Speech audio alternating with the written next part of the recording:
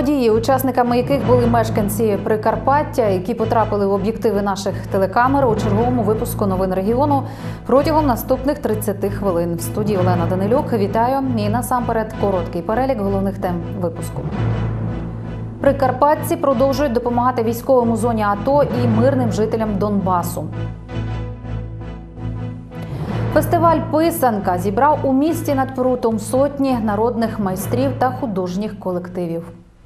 Прикарпаття відвідала офіційна делегація Литовської республіки на чолі з міністром оборони Йозасом Олєкасом. Та до складу е, делегації також увійшли надзвичайний повноважний посол Литовської республіки в Україні Марюс Януконіс та інші офіційні особи. В Івано-Франківську члени делегації мали зустріч з представниками обласної державної адміністрації та міським головою Івано-Франківська Віктором Анушкевичусом. У непростий для України час литовці допоможуть українцям у ході неоголошеної війни. Разом з польським міністерством з Україною створять тристоронні бригади, де обмінюватимуться досвідом і навчатимуть українців, як діяти під час військових дій. Мы поделимся своим опытом, мы узнаем, э, как э, ваши ребята воевали здесь, э, что надо менять э, в общем сознании э, в отношении России, которая продолжает агрессию. Литовці готові допомогти і матеріально. Якраз в рамках цього візиту намагалися дізнати, що саме необхідно нашим військовим задля доброї служби. люди Литвы и нашим, наши э, члены организации тоже много собирают помощь для Украины, для, для солдатов. И я вот хотел спросить, какая помощь сегодня нужна, потому что они не знают э, одежды, там, покупаем медикаменты. Якби не волонтери, додав Віктор Анушкевичу, сепаратисти вже давно були б в Києві. Тому підтримка і гуманітарна допомога для України дуже важлива. А ще литовці виявили готовність допомогти Прикарпаттю у проведенні реабілітації учасників АТО. Ліліана Хомишин, Сергій Брагін. Новини телеканал Раї. Попри усі спроби забезпечити мир і спокій на сході країни, ситуація у зоні АТО залишається складною. Зважаючи на це, наші краяни продовжують збирати і передавати допомогу не лише для військовослужбовців, але й для жителів Донбасу. Днями чергову партію допомоги для розвідників 79-ї аеромобільної бригади відправили коломияни. Серед пакунків речі для мирних мешканців. Про це попросили самі українські військові.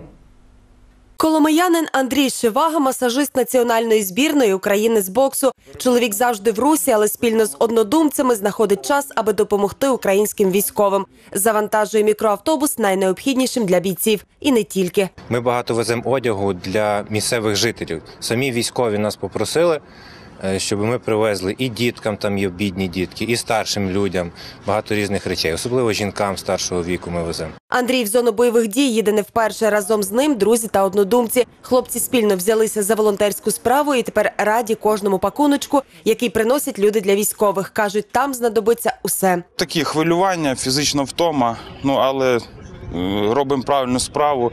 От, в правильному напрямку йдемо, допомагаємо. Це потрібна наша допомога.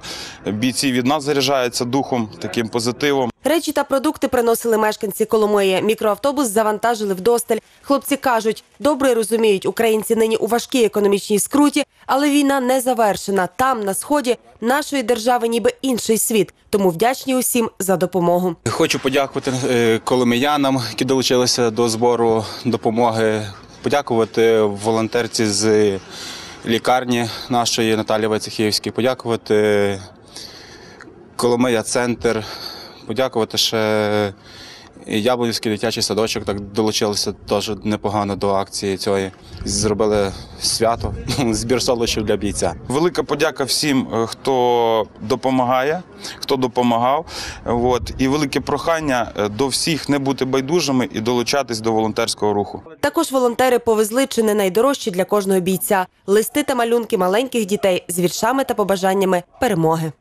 Дочірня компанія Газ України Національної акціонерної компанії Нафтогаз України передала в Івано-Франківську для потреб військових 174 одиниці техніки. Відтепер це майно перебуватиме у власності Міністерства інфраструктури та Служби безпеки України для подальшого використання у зоні АТО. Ліліана Хомишин знає більше. Автомобілі, екскаватори, комплекти радіозв'язку, міні-електростанції та інша техніка загальною вартістю понад 9 мільйонів гривень. Усе це дочірня компанія «Газ України» пожертвувала для потреб АТО.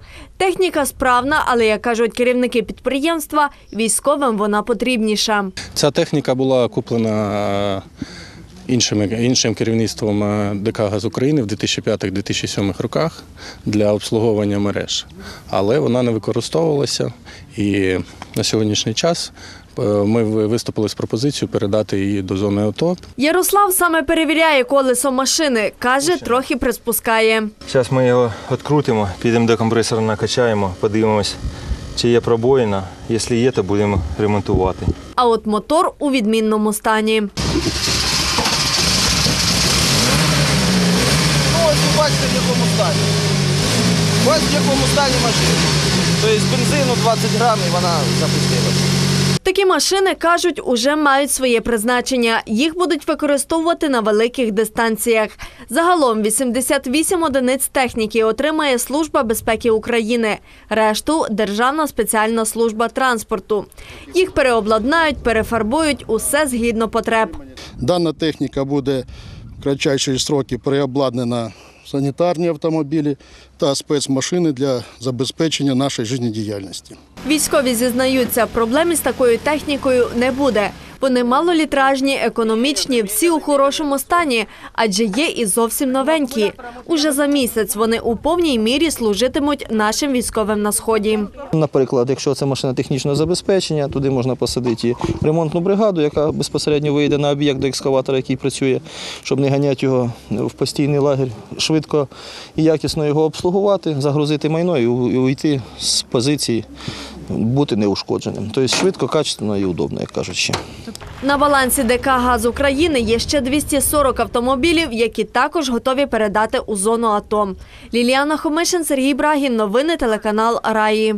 Триває п'ята хвиля мобілізації. 22 квітня з Галицько-Рогатинського об'єднаного військомату ще 13 військовозобов'язаних відправились у навчальний центр на Львівщині.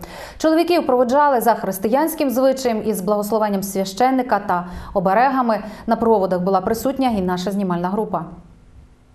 Незважаючи на перемир'я, лави захисників поповнюються. Розпочалась п'ята хвиля мобілізації. З Галицько-Рогатинського військового комісаріату у військовий центр на Львівщину відправили ще 13 військовозобов'язаних. Відправили ми 13 чоловік хлопців з нашого району, 184 навчальний центр, це місто Старичі Львівської області. У всіх хлопців нормальний настрій, всі добровольці прийшли, осознанно йдуть захищати нашу державу.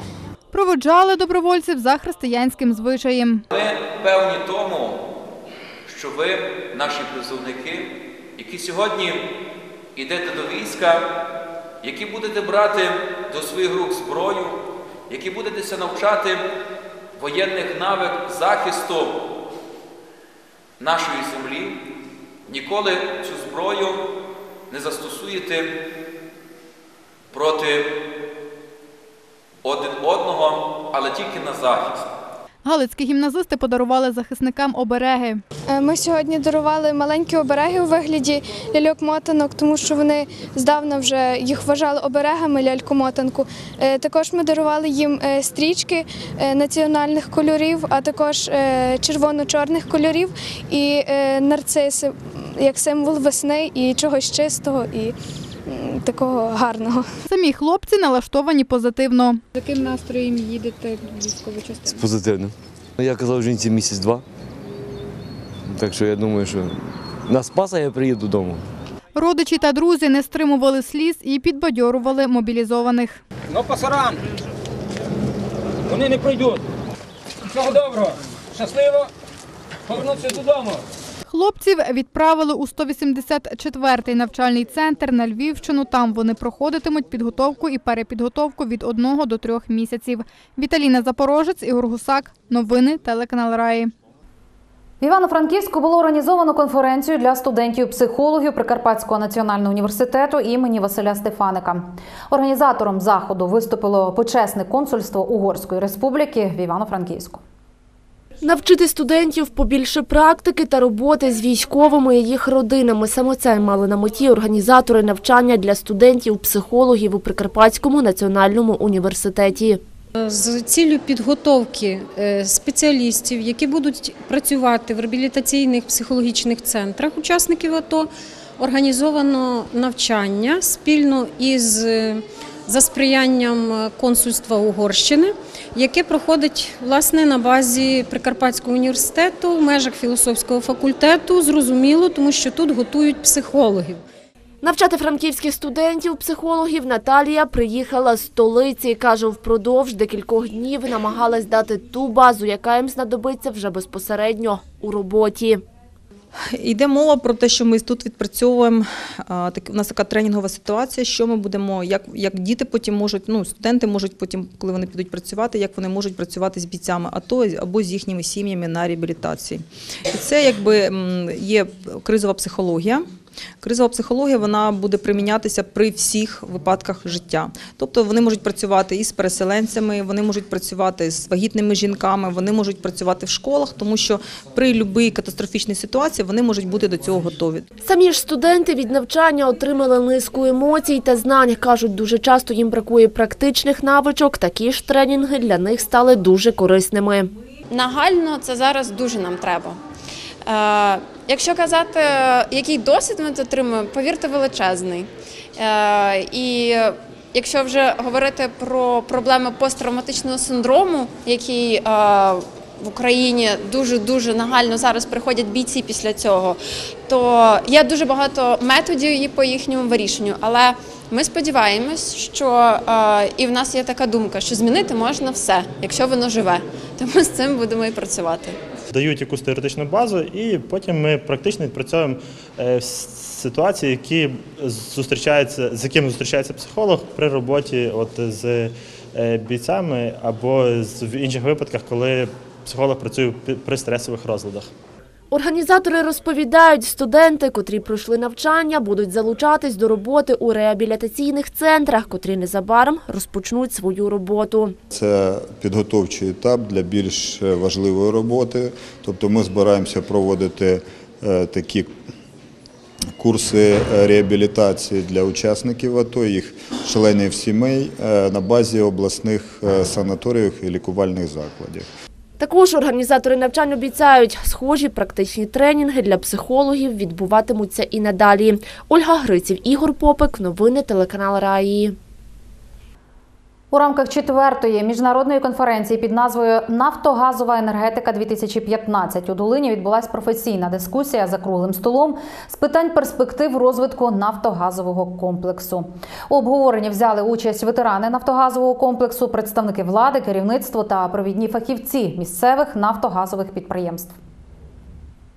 Ідея проведення круглого столу належить меру міста. Учасники зустрічі акцентували увагу на необхідності збереження та розвитку нафтогазового комплексу Долинщини і всього західного регіону. Геологи, дослідники, науковці обговорювали проблеми, що турбують сьогодні, та як їх вирішувати. Було висунуто ряд пропозицій щодо провадження нових прогресивних технічних розробок.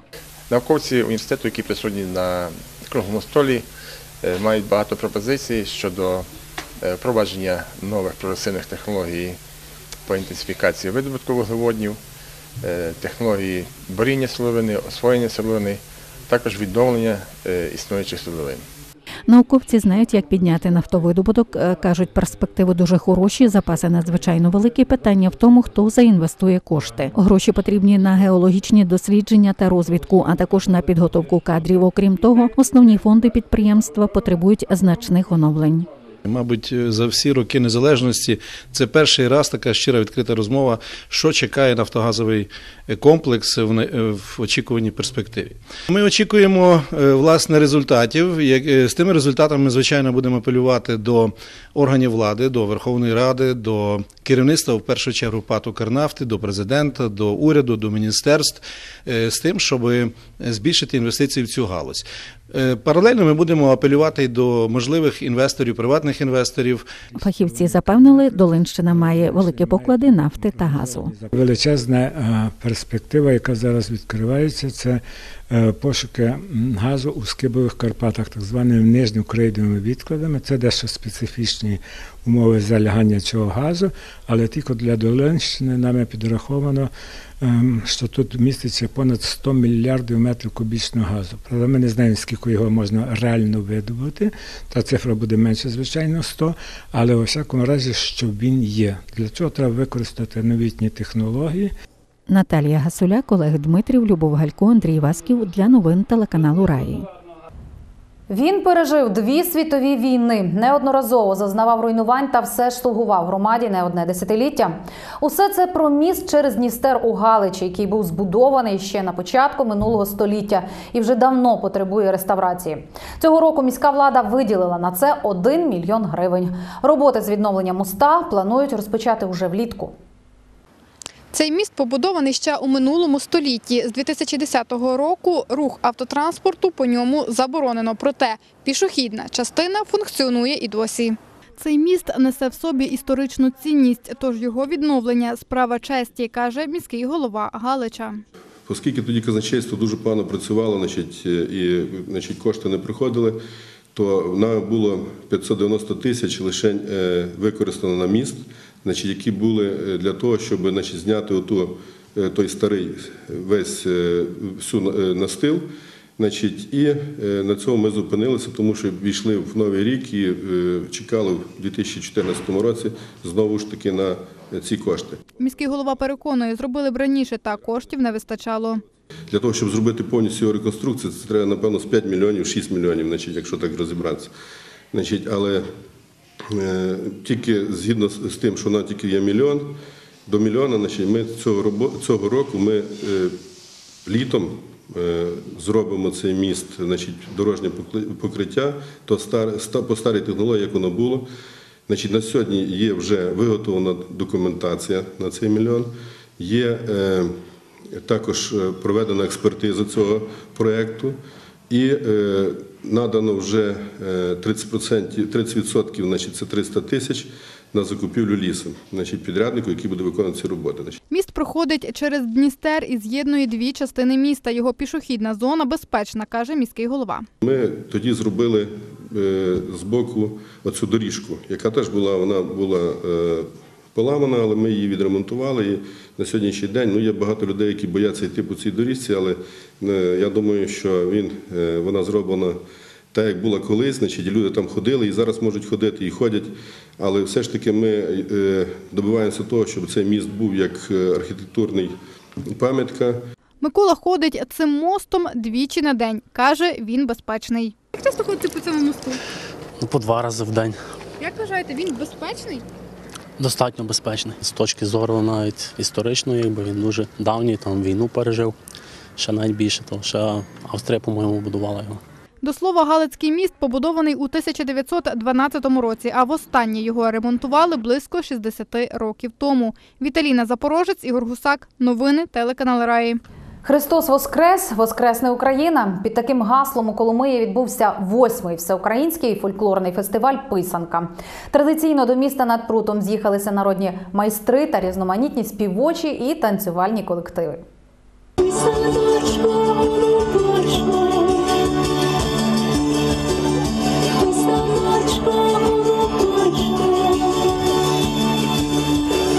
Коломия зустрічала почесних гостей на фестиваль Писанка. Приїхало більше сотні народних майстрів. І не з порожніми руками, а з автентичними виробами. На святковому ярмарку чого тільки не було: вишиванки, прикраси, медова продукція, картини та ікони, кераміка, оригінальні вироби зі шкіри та дерева. Тут можна було поласувати паскою та бринзою і навіть зігрітися кількома грамами медовухи. І, звичайно ж, були писанки. Дуже любимо фестиваль, писанки, показати писанки себе на це свято писанки. Космацькі майстрині на фестиваль писанки приїжджають уже кілька років поспіль. Крім крашенок, цього разу привезли традиційні сирні коники. Купують е, гуцульські писанки, бажано такі космацькі, наші гуцульські, більш е, такі, е, щоб були гуцульські, щоб була церква, було Христос Воскрес. 150, 200, як який, 250. Беруть. Дуже гарно. Нам сподобалося. А це вироби із Косова. Молодий майстер вихваляє. Кожна річ ексклюзивна, не китайська, а справжня, гуцульська. У мене все оригінальне, а ну дивіться, що є щось таке, що в когось є. Є, дивіться, є наші гуцульські, файні наші. А є ото такі творчі, то є осінній пейзаж, кабачки, там, ну, ну. Урочистою ходою учасники фестивалю пройшли центральною частиною міста до головної сцени.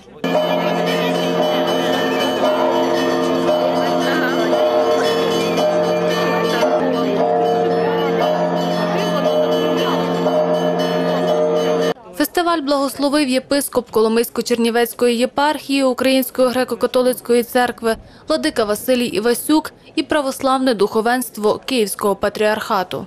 Я бажаю всім благополуччя. Бажаю всім воскреснути духовно для того, щоб наш народ, наші народи жили в мирі і в спокої.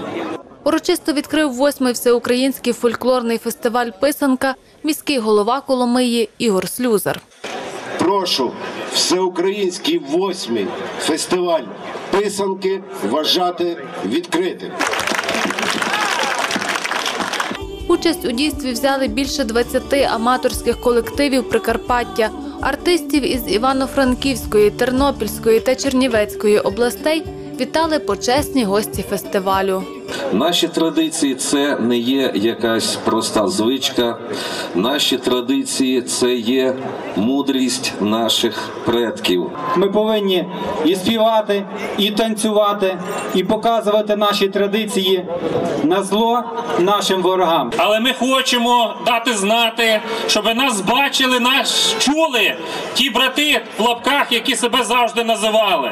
Що ми як ніколи є об'єднані. Мирного неба, Божого благословення, і хай ви відчуєте насолоду від проведення нинішнього фестивалю. Слава вам, слава Україні! Серед почесних гостей делегація із Польщі, яка спеціально прибула на Коломищину саме у фестивальні дні. Раділи великодньому святу і дорослі, і найменші.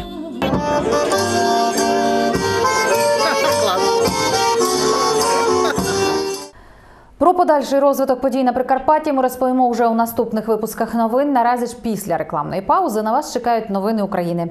Залишайтесь з нами.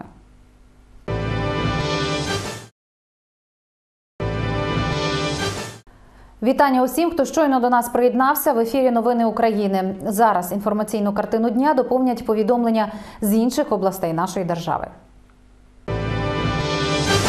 Майор Нацгвардії зливав дані про АТО бойовикам терористичної ДНР. Про це заявила генпрокуратура. Вона оголосила підозру першому заступнику командира авіаескадрильї Національної гвардії, але прізвище майора не називають. Підозрюваному обрали запобіжний захід у вигляді тримання під вартою. Слідчі з'ясували, що майор передавав терористам дані про місця дислокації, маршрути переміщень та пункти призначення окремих підрозділів сил АТО, розташування бойових літальних апаратів, їхні тактико-технічні характеристики і комплекти боєприпасів на одному з аеродромів Донецької області, а також маршрути польотів авіарейсів вищих посадових осіб держави. Щодо зрадника зараз триває досудове слідство.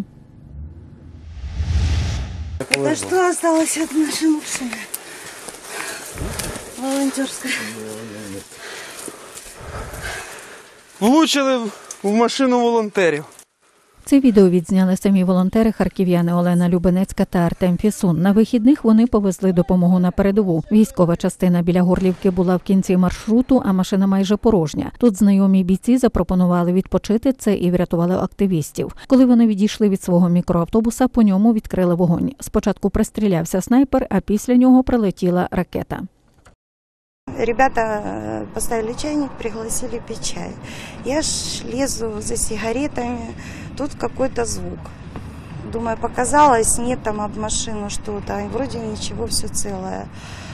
Э, Это, как потом мы выяснили, это снайпер работал. Конкретно прошила стену, ракета стену буса, Э, Но спасло бу- наш бусик, наш труженик, э, спасло то, что двери были открыты. Це залишки ракети, яка потрапила в мікроавтобус волонтерів. Українські військові кажуть, стріляли з протитанкового ракетного комплексу Корнет, який виготовляють в Росії. Волонтери впевнені, противник умисно стріляв у цивільний мікроавтобус. Удару завдали приблизно з двох кілометрів. Ведеться зап- з- запугівання свого роду волонтерів. Чому? Тому що на сьогоднішній день все тримається саме на їхніх плечах. Е, Держава не здатна е, належним чином забезпечити е, нашу армію амуніцією, там, належною зброєю сучасною. З таким ворогом, як Росія, нам дуже ва- важко, звісно, тягатися. Тому все це тримається на плечах волонтерів. Як тепер їхати на передову, волонтери поки не знають. Автівці необхідний ремонт, на який Олена і Артем грошей теж не мають. Проте більше їх турбує те, що хлопцям на передовій не вистачає найнеобхіднішого літньої форми, амуніції та хорошої оптики, щоб бути на рівних із бойовиками. Кабмін воскресить диктаторський закон. Уряд хоче примусити абонентів мобільного зв'язку розкрити дані про себе, тобто навіть ті користувачі, які не підписують договір із оператором, мають в нього зареєструватися. Проект постанови запропонував віце-прем'єр-міністр В'ячеслав Кириленко. Уряд таку необхідність пояснює складною ситуацією на сході. А ця ініціатива має полегшити правоохоронцям ловити терористів. Міністр оборони Степан Полторак попереджає про те, що в Україні зростає загроза терактів, активізуються терористичні і диверсійні групи.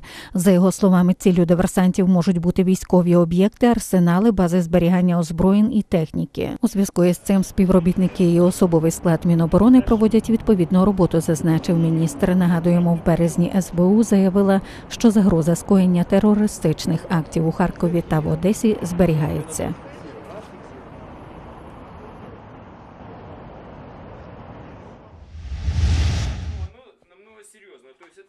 Кіровоградець Павло Мазуренко зацікавився енергозберігаючими технологіями кілька років тому, коли почали підвищуватися тарифи на енергоносії. Щоб економити, встановив сонячні панелі та вітряк. Знайшов спосіб заощадити і на самому обладнанні. Хоча зізнається, для їх тривалого використання потрібні практика і знання.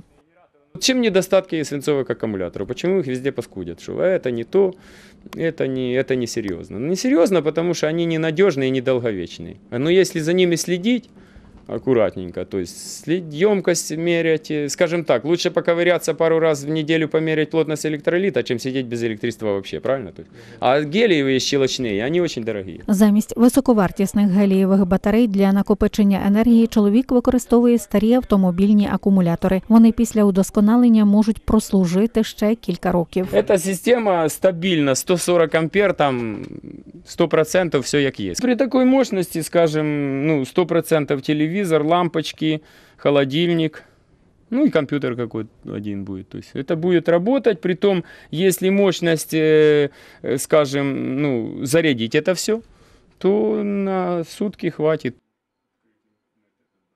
Енергією сонця та вітру у будинку Павла Мазуренка живляться усі необхідні побутові прилади. Працюють навіть потужні електроінструменти. Повністю від загальної електромережі Павло Мазуренко не відключається, проте платить за світло не більше трьох гривень на місяць. Майже не користується винахідник і газом. Будинок опалює дровами та відходами. Блакитне паливо використовує лише для приготування їжі. У планах побудувати установку, яка вироблятиме власний газ.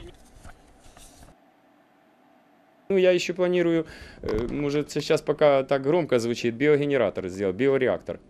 То есть именно добыча газа, это очень удобно будет. Свой газ, он, его не отключат никогда, не это. То есть будет такая камера, в которой будет э, складываться всякие там органика, и будет вырабатываться. У підвищенні тарифів Павло Мазуренко бачить лише позитив. Вважає це стимулюватиме людей більше заощаджувати і користуватися альтернативними джерелами енергії.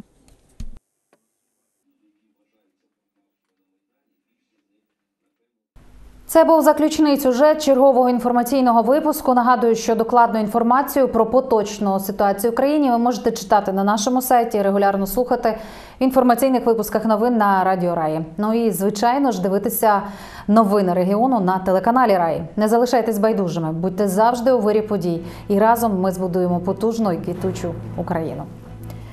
Я ж прощаюся з вами до наступної зустрічі в ефірі. Нехай вам щастить.